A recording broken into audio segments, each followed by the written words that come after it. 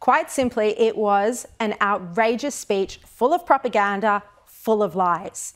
It was an insight into the extreme censorship, the absurd worldview that Putin insists on perpetuating in Russia. He falsely claimed America had started the war in Ukraine. He accused the West of allowing the growth of Nazism in Germany in the 1930s and then claimed that the same thing was happening now in Ukraine.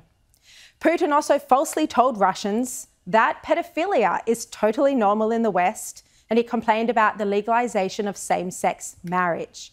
He then said, addressing the Russians about his direction for the war in, U- in Ukraine, he said he was working on a revamp of military strategy. The NATO boss, Jens Stoltenberg, said it was clear from the speech that Putin is preparing for yet more war.